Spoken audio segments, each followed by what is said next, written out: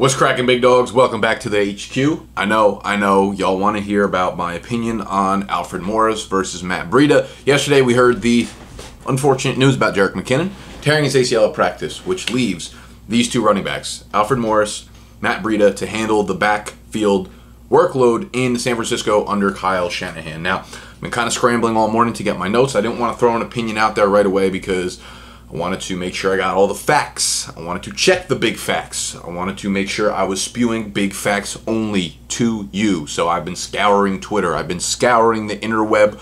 I've been scouring underneath my desk to see if I have any notes back from March or April on either of these two running backs to know what we're bringing to the table. Pretty sure I'm done wrapping up my analysis, so I want to bring this to you as early as I can because I know a lot of y'all are drafting today or a lot of y'all have these players on your waiver wire. So we're going to do just that. We're going to get into the video and I will kind of break down both players, how I see this backfield playing out and why why you should or shouldn't pick up both or either of them. So let's just get right into the video.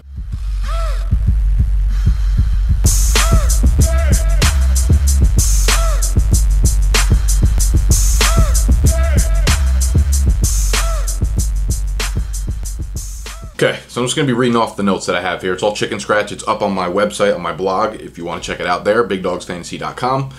Here's what I know for certainty. You want a piece of this backfield. Doesn't matter which one. I mean, it does matter which one, but either way, if you can only get one of them, if only one of them is available on your waiver wire, you do want to get that. If you look at this tweet from Graham Barfield, here's the obvious reason why you want a piece of this backfield. Over the last four years, as OC or head coach, Kyle Shanahan's backfield has finished 10th, 8th, 7th, and 12th in running back touches per game. Shanahan's backfields have finished top 10 in yards from scrimmage per game in three straight seasons. So he's been top 12 in the last four seasons in terms of RB touches per game. In redraft, you chase volume. Their running backs are going to touch the ball, whether it is through the air, whether it is on the ground. They're going to get a lot of touches, and as you can see, top 10 in yards per scrimmage over the last three years. They're not only getting volume, but they've been super efficient. Um, so he's just a goddamn wizard when it comes to churning out fantasy goodness uh, in in the running back position over the last few years, right? Just the way his system is set up, and that's and there's no arguing that, and that's the reason why you had to have been so high on Jerick McKinnon this summer prior to the calf strain injury, which I told people after that happened, I, I put him on my do not draft list pretty much. And I said the reason why is because when you suffer these preseason injuries, guys, if you come back too early, you have a very high chance of either re injuring that uh, that part of your leg or injuring another part of your body because when you have an injury in your lower leg and you come back too early that that muscle is not ready to take on a full workload. So another part of your lower leg compensates for the work that that muscle cannot or that tendon or whatever it is cannot account for. It's just it's just doctoring 101 i'm not a doctor here but it, it, that's just obvious common sense when it comes to that. And that's why when these lower leg injuries occur and I see players rushing back to their spot, I'm completely avoiding those guys. That's just a little note for you guys' future um, f- for guys that are injured now or guys that you were thinking about and you're like, oh, I don't know what to do with these injury settlements. But anyways, let's break down both guys, right? If there, like I said, if there's one guy available, then you go for that guy. But if both of them are available, then of course you, you have to choose one or the other because you're probably not going to get both unless you spend a lot of your FAAB budget, and I don't suggest doing that. So we'll look at Alfred Morris. And a lot of people wanted to immediately write off Alfred Morris, right? You hear Alfred Morris and you think of 2013, 2014. Alfred Morris was quietly very good last year. He uh, ran the ball 115 times. He was on Dallas. He was the backup on Dallas. He ran the ball 115 times for 547 yards, which is 4.8 yards per carry. Kyle uh, Kyle Shanahan knows him and he trusts him, right? Because he played under Kyle Shanahan a few years back. Last year, Morris was the number 10 ranked running back per Football Outsiders in DVOA. So, in terms of just efficiency overall, Football Outsiders had Morris ranked very highly. Um, he averaged 3.3 yards after contact, which among 73 running backs with 50 or more carries last year ranked fifth in the NFL. 3.3 yards after contact. So Morris has definitely still got some sauce to him. He's still got some juice left in that tank of his, man. He played under Shanahan back in Washington. He had multiple thousand yard rushing seasons with him, knows the system well. He was just brought in a couple weeks ago, and he played in this preseason game um, last weekend, and he, and he rushed really well. The holes were enormous. Um, but he, he looked really, really good in this preseason action. It was the first of the summer, so it's good to see that he has been staying in shape and that he's ready to roll had they needed him, and now they obviously do. Um, now, Alfred Morris is 29. And usually, you know, when when they start getting up there, you start writing running backs off, and you're like, oh, he's old, he's 29, he's 30, you know, he's probably going to break down soon. However, he doesn't have like the touch count that a lot of 29 or 30 year old, 31 year old running backs do. Right? You look at Shady McCoy, and know, while it's not really a valid argument because he's proven this to be wrong, but you look at Shady and you're like, oh, he's like 30, but he's also handled like 20,000 touches. You know what I mean? Alfred Morris only has, I think I wrote the number down. Alfred Morris, this is uh, his going to be his seventh year. So he's played six years in the NFL. He only has 1,262 carries overall. Um, so he's not a spring chicken by any means, but he's not as seasoned and he hasn't taken as many hits as most of the other backs that are this age that you expect to handle a big workload. Um, plus, he's only seen 184 carries over the last two years, so that's not a big workload. So his legs should be pretty fresh. Uh, the beat reporters out of San Fran have Morris as the starter. What I'll say is don't get don't get locked up in the starter talk, right? Whatever Kyle Shanahan designs as his first play of the game, whatever that is going to be, is going to dictate who the starter is. If it's going to be a pass play, maybe he starts Breida out there, and everyone's going to go nuts. Oh, I knew it should have been Breida. The next play, Morris might come in for running game. So don't worry about the starter talk worry more about who's getting the overall snaps, and that's something I will cover throughout the season. Obviously, um, in my weekly videos, I'll talk about running back committees and, and that kind of stuff. But that's kind of what I have for Morris, right? He's a guy who played well last year, knows the system, um, and he's played well already this preseason. Despite him being kind of old, he still has somewhat fresh legs. So that's Morris right now. We have Matt Breida, right? He was an undrafted free agent last year out of Georgia Southern. Really burst onto the scene and surprised a lot of people. We had Joe Williams, the hand-picked Joe Williams by Kyle Shanahan who ended up just getting released. I wonder if they regret that now with the McKinnon injury, but Matt Breida um, ended up taking that second string role last year. And as a rookie, he put up uh, 465 rushing yards on 105 carries, two touchdowns, 4.4 yards per carry, 21 catches on 36 targets, 180 receiving yards, and an extra touchdown there. Um, almost 650 total yards as a rookie, three touchdowns. Was very involved in this offense, a lot more involved than people assumed going into the season. He missed this basically this entire preseason with a shoulder injury. Uh, last year, just like Alfred Morris, I said, was pretty good per Football Outsiders and their DVOA efficiency.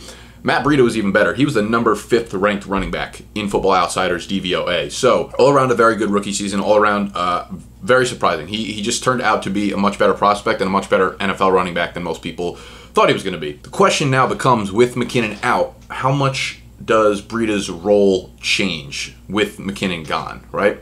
He was probably set up to be the second guy on the field behind McKinnon already, right? Probably somewhere from like five to seven carries a game and maybe uh, two to three catches a game.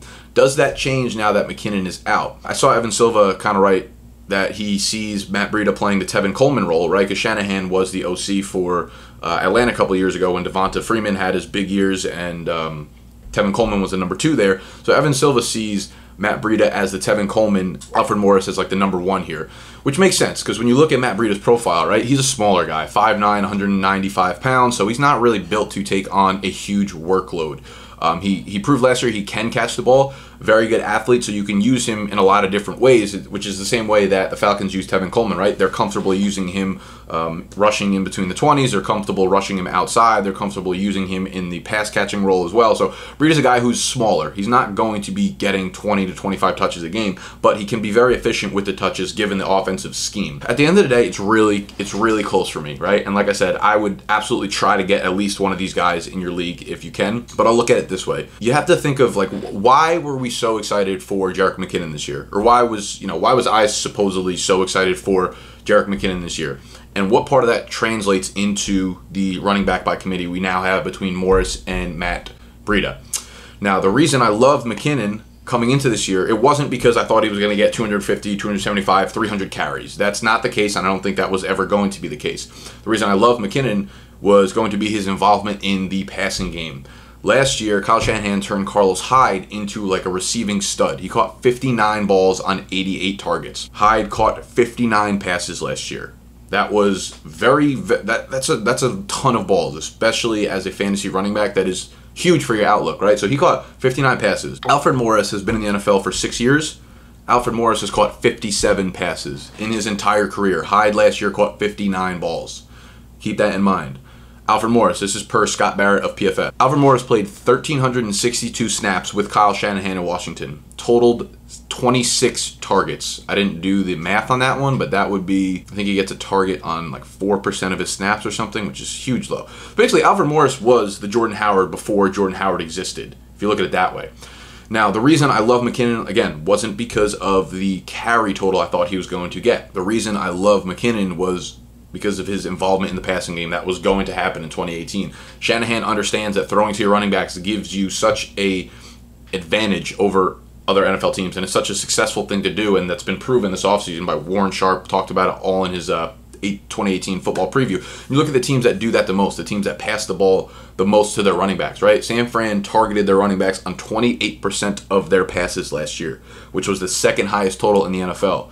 The only other team that topped them in terms of percentage of their passes um, where the targets went to running backs was the Saints. They were at 33%. San Francisco was at 28%. Guess who's number three? New England, 27%. These teams know what they're doing. These coaches know what they're doing, and they're evolving to the times. They were going to use the running back catching ability of Jerick McKinnon uh, as such a big part of this offense. Now that's gone. However, you still have to assume that that's going to be a big part of their game plan. Like they can't change things now just because Jerick McKinnon is out of there. Now Morris has 20 receptions over the last three seasons. Matt Breida last year as a rookie had 21. So he had more last year as a rookie than Alfred Morris had as uh, over the last three seasons. However, however, however, I'm not sure Matt Breida is an amazing um, pass catcher, and I'm not sure that just because Morris hasn't caught the ball much in this offense, that he doesn't get more involved and they just don't kind of shove him into close to that. Definitely not where McKinnon was was gonna be. I thought I, I had pegged McKinnon to catch somewhere between like 65, 75, ceiling of 80 catches this year. Um, but now with him gone, I could see Morris getting shoved into maybe like 35% or 40% of the running back targets here. Um, and that would be huge for fantasy purposes. And the reason I say that, and I want to bring up a tweet by one of the Big Dog writers, uh, one of the new writers that I've brought on this summer, FB God. I would very highly suggest you go follow him on Twitter at FB God. I will link that down below. Matt Breida, college receptions per year, 8, 3, 11. His catch rate last year, 58.3%, 45th amongst running backs. 36, 36 targets, 6 drops. Sure, Alfred Morris isn't a pass game specialist, but Breida hasn't proven to be either. Now, a lot of people just assume that Breida is because he caught you know a decent amount of balls last year. 21 is is really nothing crazy, but they put him into that role. And anytime you are running back in Shanahan's system, the pass catching role is going to make you look better than you are, i.e., what Carlos Hyde was last year. And you look at his college target share, it was 6.5 percent, which was in the 35th percentile going back to it, and that's per player profile. That image I brought up before. So while we kind of assume Breida is going to uh, take that role, I wouldn't be surprised whatsoever if Alfred Morris actually ended up receiving more or caught, you know, if he ended up catching 25 to 35 passes this year, which is going to be a huge boost to his role if he does end up um, if he does end up staying healthy, right? And he will be the early down workhorse here. So what I said, you know, it, it, run, throwing to this to these running backs are going to be a huge part of this offense because that's what Kyle Shanahan's system is. However, I'm not so sure I'm sold on Breida, you know, catching 65 to 75 passes this year. What I will say is, in a full PPR league, Breida will be my choice here because he will be more involved than Morris. I think realistically, Morris maybe gets 30 to 40 percent of the targets, but is going to get a high percentage of them. Um, and if he can kind of improve that catch rate, then he should be a force in PPR leagues. I don't see his touches really getting much higher than nine to you know 13 in that range, but I think Morris should probably handle 14 to 15, 16, 17 carries a game plus all the goal line work.